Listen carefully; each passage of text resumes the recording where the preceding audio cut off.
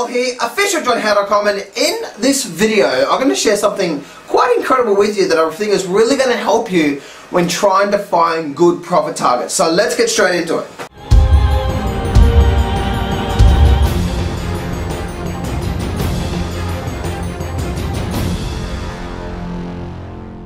Do not place a trade based on what you're seeing in this video today because trading is risky and it can cause substantial financial loss. There are so many areas you need to become good at to become a good trader. Emotional mastery, chart reading, trading systems, money and trade management. So this video is just educational only to help you become a much better trader. Alright, let's get straight into today's video. Today's video I want to talk to you about how to find or finding good profit targets in your trading. Now if you're trading stocks. This works really, really well for trading stocks.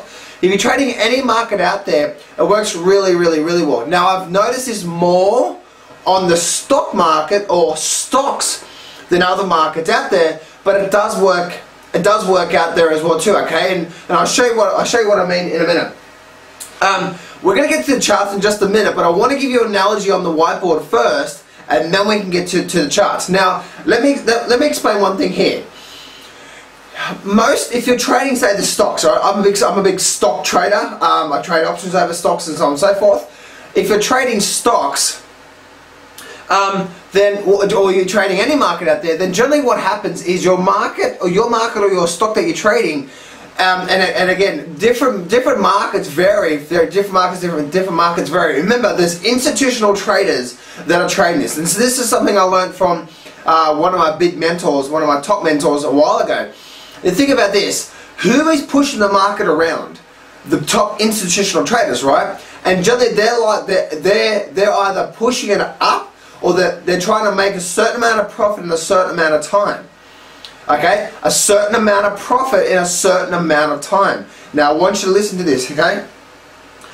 When time and price are supposed to be equal, okay? So generally what will happen is you'll see stocks ranging um, very closely to the legs that's been happening over, especially over the last say six months or so, you can see how much those legs have been. Now let me explain what I mean here. Um, in a in a market, you'll see the market run up through here, and then the market will push down, and then you see the market run up through here, and then the market will push down, and the market runs up through here, and the market might push down through here. The market pushes through here, and the market push, push through there. Okay, so you with me so far? Pretty simple, right? But here's the thing is that you might notice, okay, cool, this one here as a percent, oh, this was a this was a 20% rise overall before it started to pull back. Oh, look, this one here, this one here is a 18%. Oh, look, this one here, I'm going to keep the figure simple, this one here is, oh, it's a 17%. So you can see roughly, and, just call this a couple of, just call this a couple months time frame. You can see roughly that the legs have reached a maximum of 20%, a, a maximum of 20% increase. That, that that stock or that market has moved up in that direction in total, and, and the lowest has been 17%. And then something you measured the down legs. Um, here you must say, okay, cool. When the market's in an uptrend, the down legs, this this this down this this pullback here might be say uh, let's just call it um, a a ten percent pullback. Okay, so it's a ten percent pullback, and this one here is an eight percent pullback.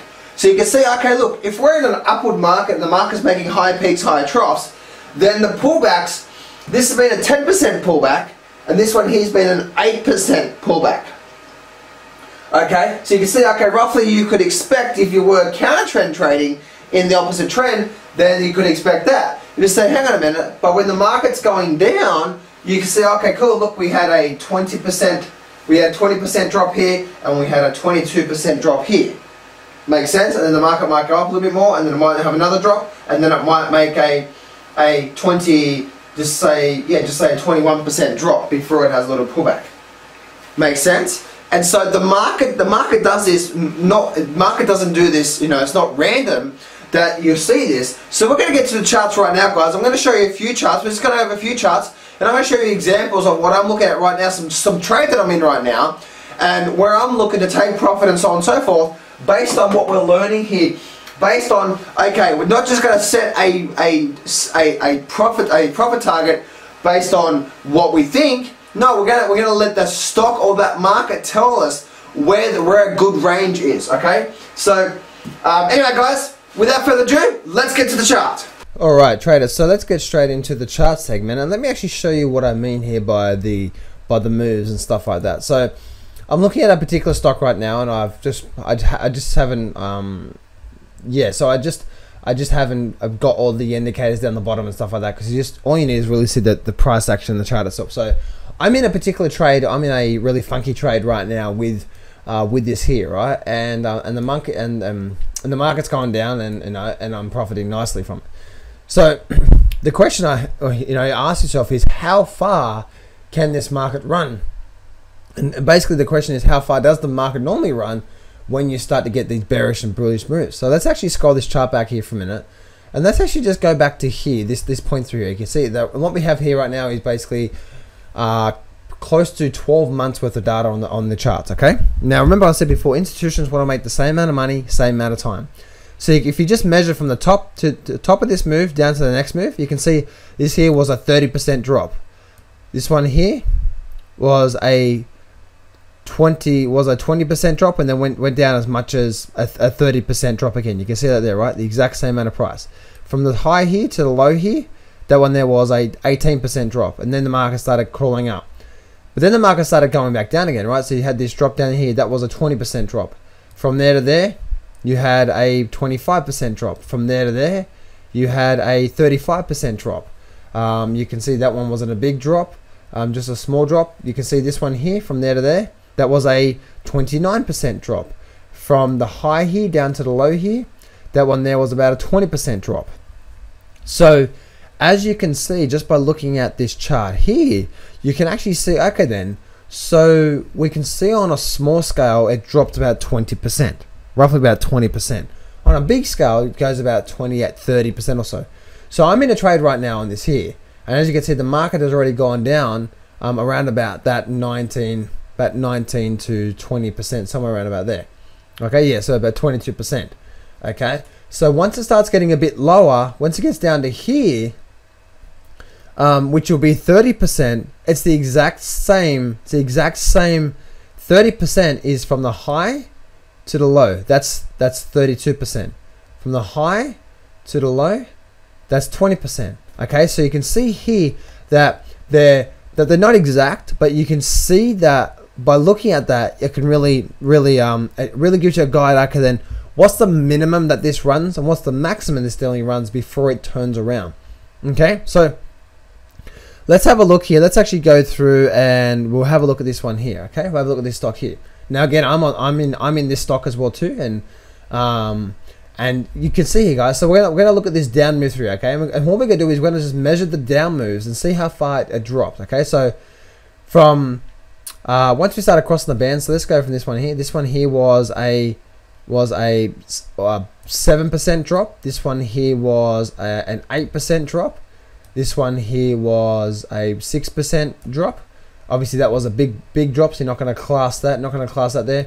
From the high to low, that one there was a 10% drop. From this high to low, this was uh, was a 10% drop, and the market's gone sideways.